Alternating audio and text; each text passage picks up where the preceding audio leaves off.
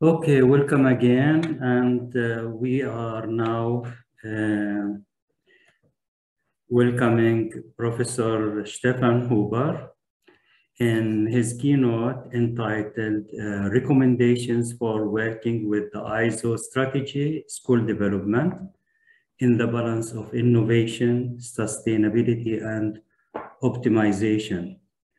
Uh, Professor Stephan Huber is the head of research and development and the head of the Institute for the Management of Economics of Education at the University of Teacher Education in Switzerland. In addition to that, he is a member of different European institutions and he has contributed so much at the international level. In the name of the organizers, I am welcoming Professor Huber in his keynote speech. Thank you very much uh, for the invitation. And I'm very happy to share some of the reflections um, which we had uh, given to, to your requests. Um, so I'm very sure that um, your members, your participants, we all share the same idea and insight that education is important. So to promote education quality for all seems an important effort uh, for us. So to focus on quality issues is important because we generate with um, children, with youth, with uh, young adults in our education institutions, the future society.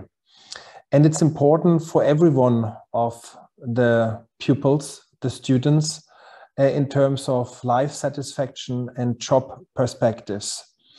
Uh, it is also important from a society perspective, and we just realized again through various crises which, which we experienced in the last couple of years whether it's the environmental crisis or the crisis about the democratic understanding, or it is about um, health issues, a pandemic, which we um, um, just were um, challenged uh, enormously uh, over the last couple of years. But it's also um, um, uh, now we experience a war and consequences of the war.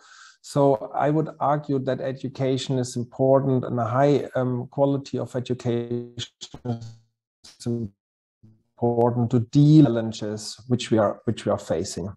Maybe education institutions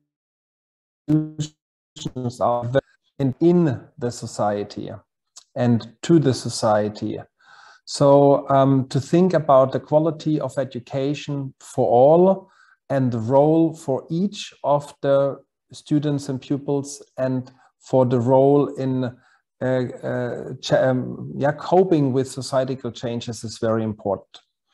And there are issues like the environment, which I just mentioned, and we can talk about that, how this impacts education quality and what has to be done in terms of education, or it is um, aspects of migration, integration, inclusion. We have a big project about that, how that changes um, educational institutions, issues of equity and equality, but also uh, the digital transformation which we are facing. And of course, education is important in terms of have being educated about digitality, so in terms of enlightenment, but it's also important because it changes learning environments.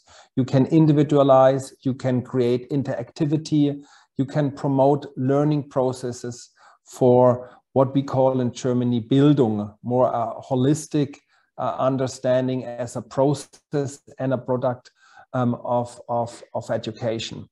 But then we also have aspects where students and pupils understand um, populism, democracy. Um, it's not only about knowledge or what we now call competences in terms of knowledge, skills, abilities, motivational, volitional aspects to also demonstrate these competences, but it's also about values and a broader understanding of oneself within a community or a society.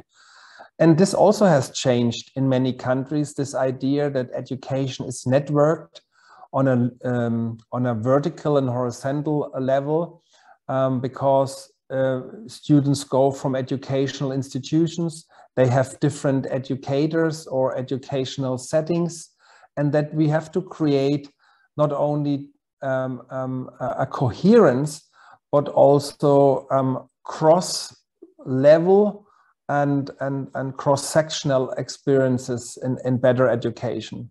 So I would argue early childhood development is important as is primary and secondary and higher education. So it is important also that we discuss different concepts of what good education is or promising education or learning um, um, um, uh, environments and how to teach and um, aspects. So didactic quality um, of, of this. And as you see, uh, it is important to share these insights, to discuss and reflect, and uh, to create concepts and um, to also implement these concepts. But it's also important in terms of policy that in terms of leadership and governance, these concepts are spread out. Um, it is not that I'm arguing for a very hierarchical approach. Um, I'm talking mainly about a concerted action, a coordinated um, uh, idea um, and strategy.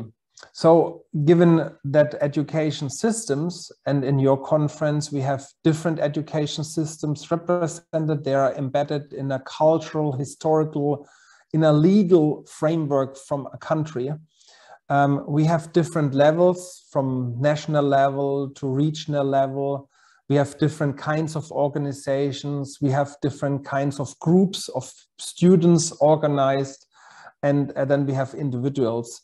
And I think it is important to take this multi-level, the, the different forms of how we organize education into account when we talk about quality. It's not only about the micro level or the macro level, it's about all these levels and how they interplay for an individual pupil, how he or she experience education or frictions between these kind of levels within her or his learning career, learning biography.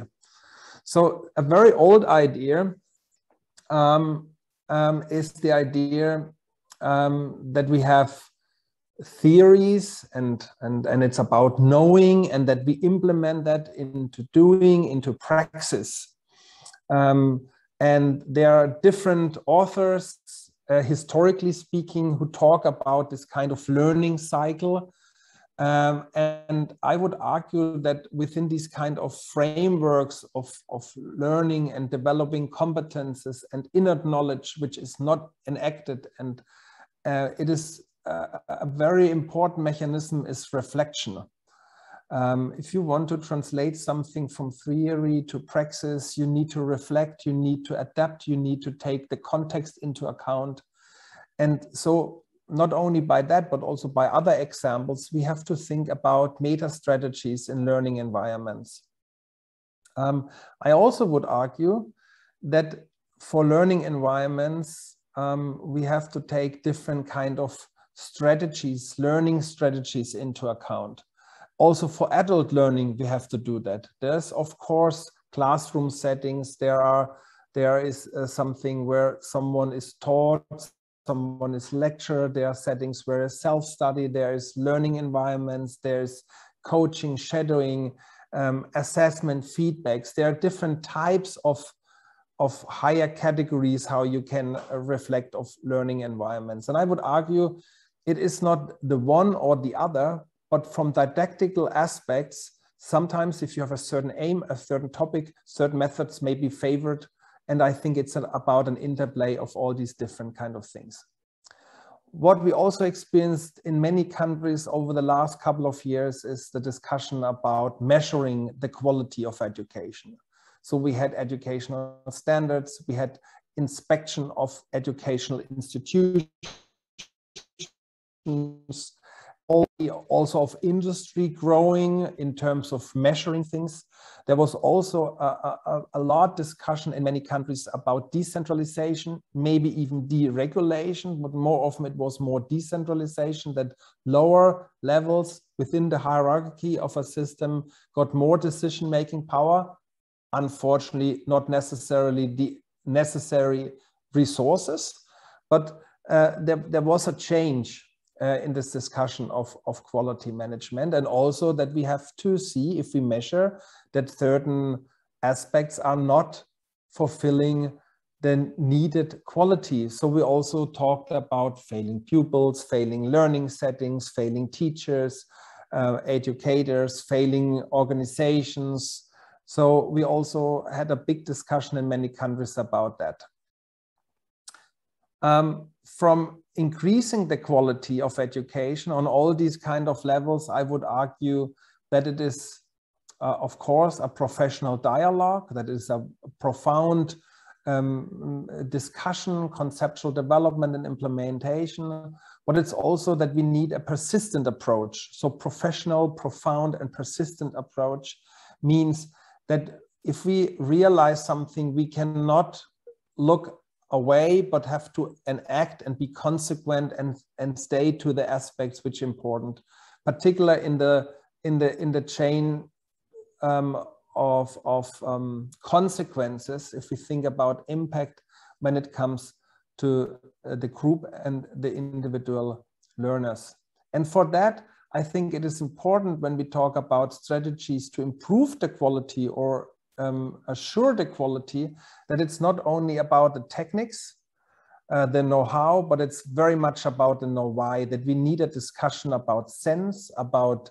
benefits, that we talk about the things, why something is needed, and then how we can achieve that. So strategy is creating values, aims, um, having a scope, and then think about the strategies and, and implement the strategies which help to reach these aims by using as little as possible resources. So it's not only about effectiveness, it's also about efficiency. And I would argue that we have to think about not only the best practice, but also about next practices.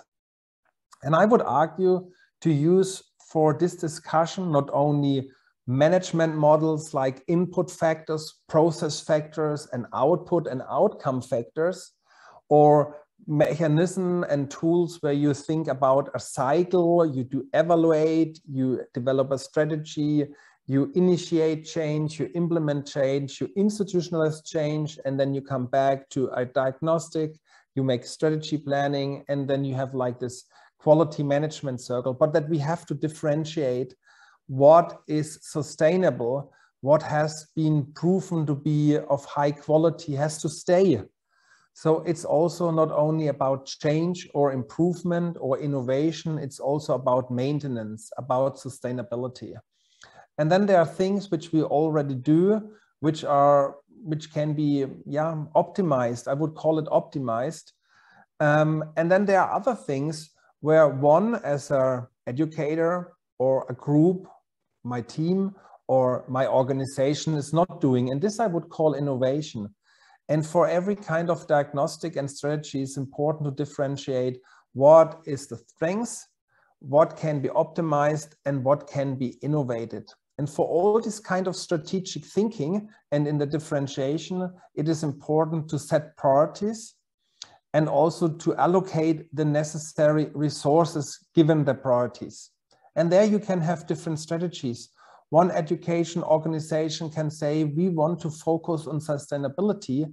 And then most of the resources given, mainly time, uh, the time of the staff, is focusing on sustainability, on the things which have already achieved in the education organization. If your focus is innovation, you would, for, would allocate a lot of resources to initiate, implement, and institutionalize something new to the organization, you would also have optimization, but you would focus less on the aspect of, of um, um, uh, keep the things you already have, which seem to be your strengths. So organization, educational organizations, but also we as educators can have different strategies in our institutional or personal professional life um, career. Um, and therefore, I think it is important not only to be aware what of oneself, the group or the organization is proven to be successful is okay, but can be optimized or what has to be innovated, but also to think about where is the focus for the next couple of years. And then, of course, if you innovate something, um, there's a, a, process where you optimize and where you sustain. So there's also a, an idea. That's why I'm talking, that's why I talk in this aspect about contextual integration, a balance in resources, and then of course a follow of sequences if you think about certain things. To be successful in quality management, I think it is very important that this is a negotiated process, that persons, leaders, um, but also decisions need and be grounded in a high level of acceptance, need to be legitimized. Um, you need motivation of those who, who interact to work together, but you also need people who have the necessary competences. So if we think about learning environments for others, we also have to think about learning environment for us as educators to increase the quality and to keep the quality which is needed. And last but not least, uh, least it is uh, about the resources. Very often, and that's uh, I'm talking only uh, uh, knowing certain countries and and reforms and innovation processes. Germany, Austria, Switzerland, for instance, very well. Um, you generate maybe the competence, but not necessarily motivation motivation competences, of course, really interplays. Maybe you have it legitimized, but you don't allocate the resources needed to the reform, the innovation, or what is needed. And then you create an imbalance. Uh, of course, you can use a metaphor saying all these factors um, are connected and correlated with a multiplicative um, connection. So if one variable is zero, zero all the others, the, the result will be zero theoretically speaking, I will and I won't argue that all these aspects and probably depending on things you can differentiate even more are important. Communication strategy for all reforms, for everything needed seems to be very, very important. What is blocking very often is in education reform and change process that we have too many reforms, too many changes, in a in a in a uh, in a, a, sequence. And um, and I use this metaphor what happens if hens are kind of pushed up and and um, and steered up? Um, you know the farmer says they are all fluttering around you create kind of chaos. And uh, what happens after some time they will sit down and they will sit down where they sat before. That's the farmer saying. So you created a lot of blind actionism not necessarily improvement or innovation. But then someone said to me, a principal listening to one of my presentations, that's actually not true because hens are not so smart that they know where they sat before. What you create is a big chaos and then afterwards something different. And you can call that change, of course, but then it is important to see change is not necessarily innovation or improvement. It could also be change to the worse. So I think responsible leadership needs to be analytic, professional, moral, and, and also strategic to focus innovation or or um, data strategy. Yeah, so this was the first part of what I was asked to do. I also prepared a second part where I wanted to focus with our studies of the school barometer on what happened the last three years through COVID and the crisis we experienced. The school barometer is an instrument in Germany, Austria, and Switzerland, which gathers data in a quantitative but also qualitative way with different actors, policymakers, superintendent, so super uh, inspection systems, um, um, authorities, um, teachers, other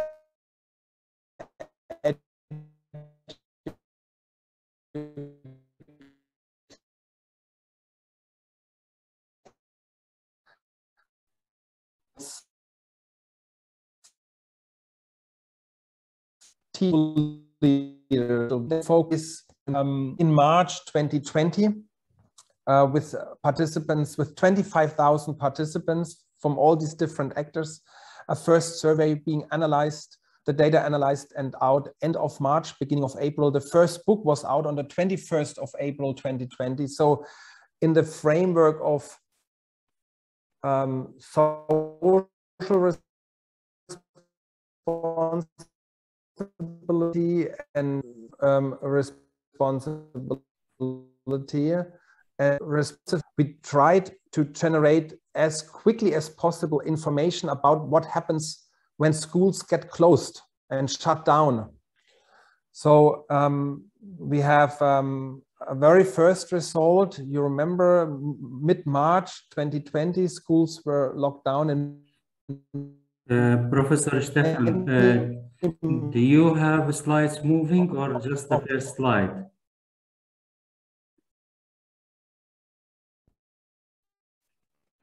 Professor Stephan?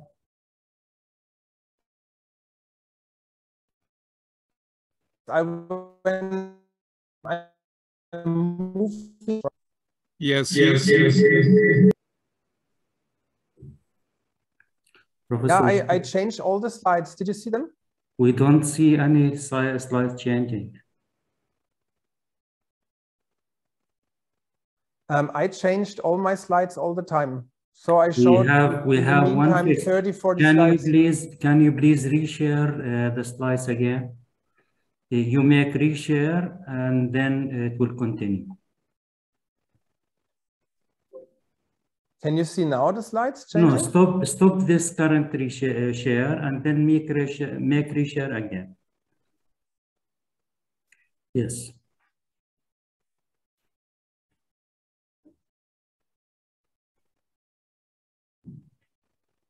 Yeah, now we are in 25 because we did not see anyone of these. Yeah, but I cannot repeat what I said. I, I can share my PowerPoint presentation. Yeah, you will not repeat. We will we will show it again. No problem later.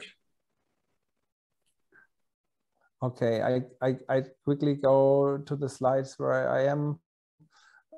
I, I was actually my slides all the time and I saw them changing. And I also had the green sign up there that I was changing. But I hope you could follow my yeah, we followed your talk uh, in very nice way, but uh, you know we missed the slides. Yeah, but I will I will share that. Yeah. So I was changing my slides every every every minute, something like that. So, but I I will I will go to the the second part. The first result saw that when when an educational institutions like the school were were closed and shut down learning did not stop.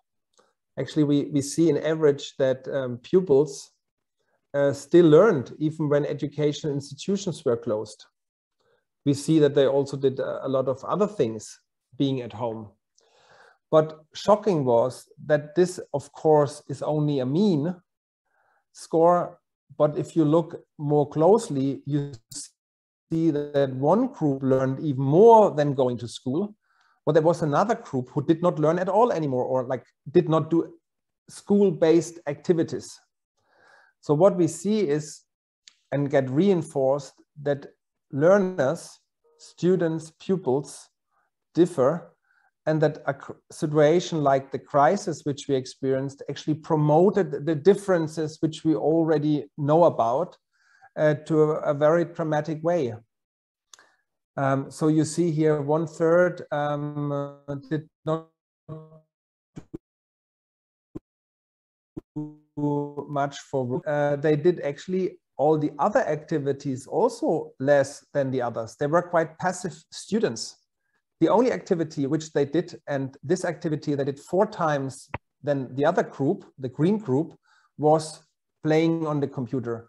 So the group who stopped doing education activities given by education organization in this context now schools um, uh, led that to the, to the fact that one is more um, increased teacher gain and decreased in other activities. The group very able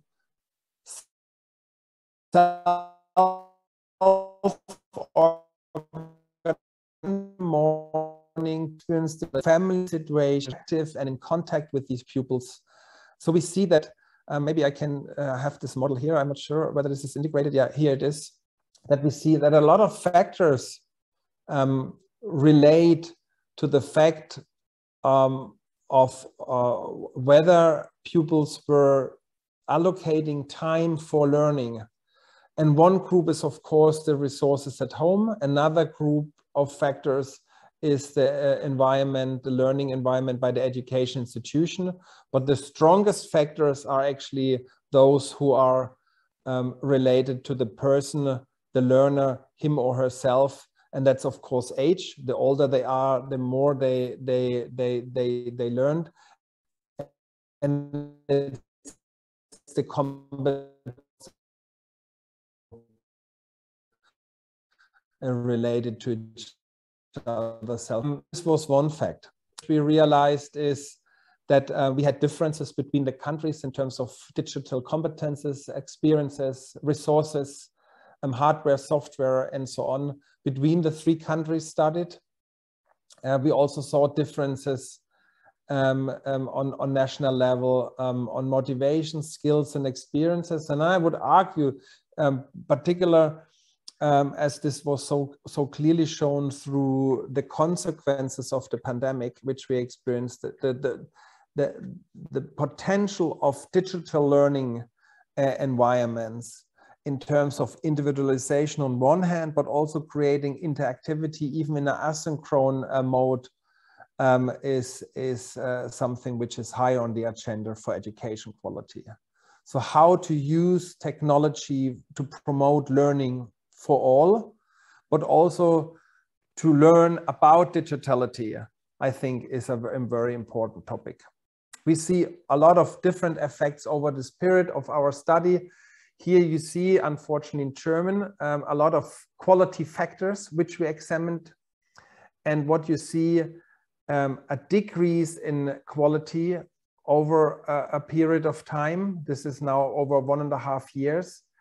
The quality never recovered to the status before the crisis. Yeah.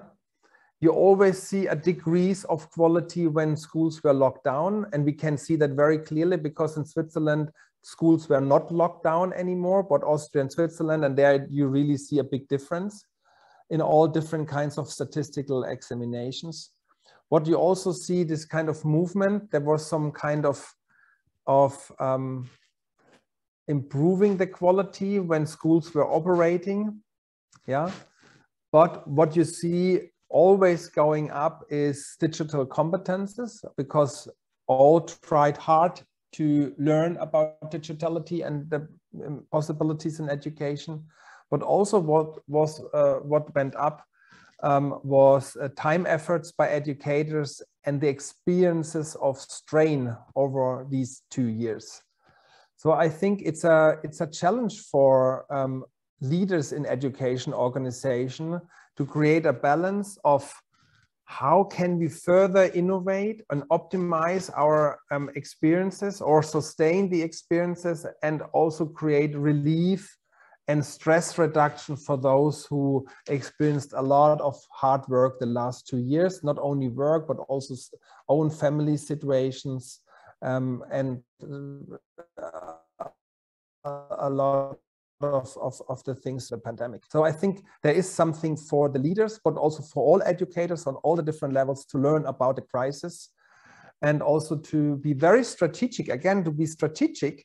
What comes next? What do we want to sustain? Where do we want to set a next uh, level in optimization? Where do we want, because we heard others were doing this innovation the last two years, can it also be something for us given the resources we have? So there you on hand,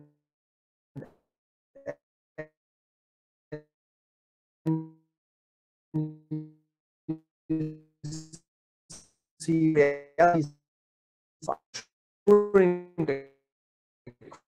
education put some more aspects of what we found out with the school barometer. There were interesting experiences in some countries like china how they set up within a couple of weeks um, tv stations for each class level. Uh, um, and and um, yeah i think there's a lot to learn for us as educators so um, thank you very much for listening uh, so far. There are some links.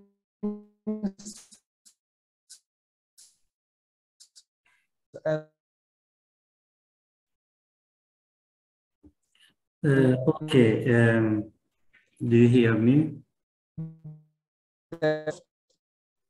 Every year we September and link. So if you want to get in touch with me, Thank you very much for listening to me. Thank you so much, Professor Huber. So uh, we will open now the platform for uh, your questions for both on-site and uh, online.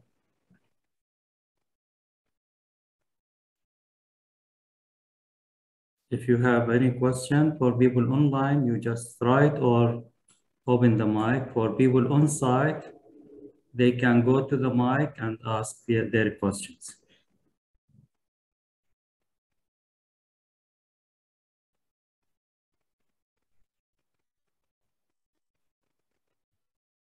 Uh, good afternoon, Professor Huber.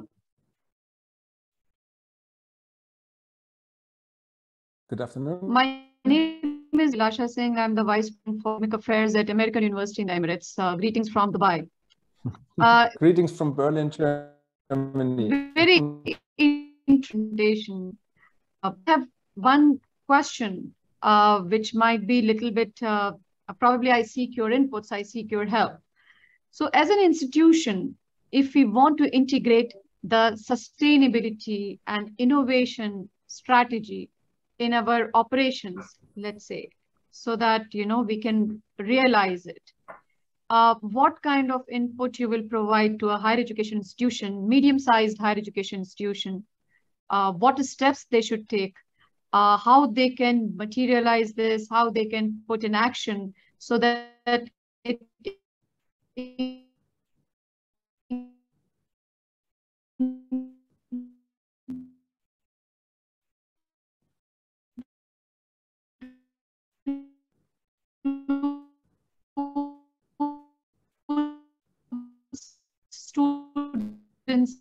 that missing in many of the higher education institutions. Yeah. So what advice, uh, with your expertise, what kind of advice you would yeah. like to provide? Um, I'm not sure it's an advice. Um, maybe it's just a reflection. Um, I see that in many other branches, we develop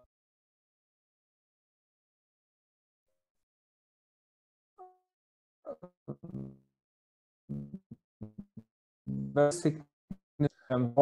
and I that country of course or a university um, there are a lot of tools and techniques out and and some fit better to a specific context and some not. But what is in common and helpful is if you create a reflection an individual as a group reflection on various levels within the organization that you create an awareness that quality matters, that to invest time matters. Um, but it's not only about more and more and more, it's also about being smart to, to set priorities. In many organizations which I follow up in different projects, innovation projects on national level, regional level, and so on, most often there is something new and this has to be enacted additionally. And of course, everyone says, there's more and more coming. Sometimes it's good communicated. Most often it's really badly communicated. And people don't understand why. They understand what has to be done, but not why. But most often they are not interested how it has to be done because they don't understand why. And then it just, in neo-analytic uh, form, it just doesn't happen. So if you create a dialogue, a reflection, that everyone, every member in the organization, no matter who, who, which role this person is, reflects for himself and maybe also keeps it for him or for herself. What is my ISO? What I can go for? What is my strengths? What I have to keep? What are the things I'm already doing, but I can do a bit smarter, a bit more efficient, and then set priorities within all the three lists and then you can do that as a group and they can share to a certain degree the individualistic perspectives, but not too much pressure. You think about the group. What do we do as a group? Which is, and then you do this even on a higher level. So if you have a, on all your organization, how you're organized, a dialogue about ISO, um, and then you create very a clear picture where motivation lies and what are the next steps and where the potential is to increase quality, but also where the, the strengths are to keep the quality. Um, this is what I would do. And I would not do it as a bureaucratic exercise, but as a smart, low, easy, let's do that. And groups can do that, individuals can do that within a framework, but you have to say, now we are doing this. This is the workshop, we are doing it. And then you have a series of like two, three workshops with the different levels. So, and each invests a bit of time reflection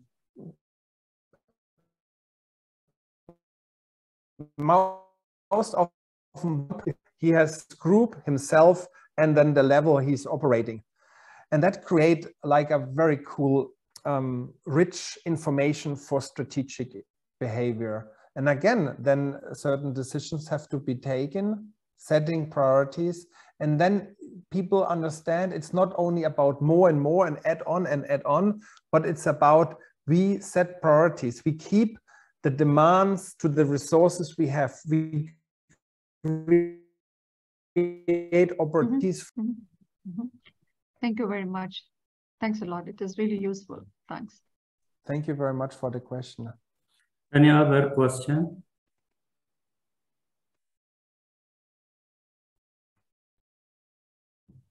I have one question, uh, Professor Huber. When it comes to the educational system in both Switzerland and Germany, what is unique about when it comes to quality assurance and, you know, uh, what is going on in the school system? Uh, about Germany, Austria, and Switzerland? Yes. Yeah. Um, it's a very simple question. I would probably repeat what I just said. We need a professional dialogue, not a top-down dialogue, not by our haters. Uh, we, we need a dialogue on all these levels to create strategies. I would argue, for instance, for Germany, which is a federal um, uh, uh, country where education lies um, in autonomy to each state, we need a national strategy we cannot keep it just to each state. So, but of course you need a strategy in each state. And of course you need a strategy within each education region and you need a strategy for each institution, um, educational institution. So I would talk about a multi-level strategy. That means a national strategy or a federal or state-oriented strategy can determine priorities given the, the, the state. So, for instance, for Bavaria, because you said you you you are at the moment um, um, in Bavaria in Ulm, so then I would argue it's important for a ministry and a minister in Bavaria to set clear goals. What in Bavaria is important in the next one, two, three years, given the situation in Bavaria, we have a lack of teachers. Um, are well in a situation where this is our aim. And then the institutions, no matter what, what level, basic or secondary or higher, they can create what can they do given their resources, their situation, we have differences in quality, what can be their contribution with their learners to, to follow up. So they do a more differentiated, refined strategy yeah i think that's that's um, it all sounds a bit abstract but if it comes to the goals and the means it's very concrete actually yeah? And of course for all of us what i said we have to think about equity about equality. We have to think about that we take all learners yeah? Also the ones who are more disadvantaged because of maybe family um, factors. Uh, one thing is we have to create our nations yeah, not one nation, but all nations in democratic understanding. Uh, we have to, to see that we have to cope a lot of difficulties. Is this lack of teacher, lack of resources? Is it uh, coping with crisis? We need resilience. We have to all work on our resilience. It's the strain I experience as a person, but also the stress we are, as, as, as a, a, a, group of teachers experience in one school. We have to think about health management, to be honest and uh, and um, then it's I think a, a really big uh, demand is digitalization. Um, there's there will it will change education so much over the next couple of years. Um, I fear it is so much about individualization, personalized learning. There is, if we only focus on this chance to have flow learning experiences, we lack one big um, opportunity, and that's collaborative environments. Digital uh, technologies allow a lot of working together. Yeah. So I think we need to balance digital change and integration in learning environments according to educational aims and combine interactivity and individualization, that it is not either or, but and. Yeah. And do you think we can cope with now a huge diversity when it comes to immigrants from different origins? Um, what is the alternative? I mean, the, uh, when we have now uh, like a number of a large number of immigrants, you know, and refugees. So how could we cope with diversity and you know uh, different uh, origins?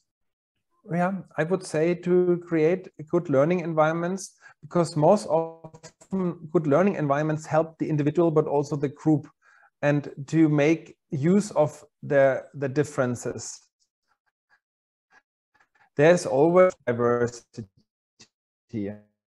First is uh, for persons creating learning environments because they have to differentiate. But once you understand that some are good in this and not so good in that, and they can, you know, learning learning through teaching was a very strong teaching strategy and learning strategy. I don't know when it was in the 50s, 60s, 50, 70 years ago.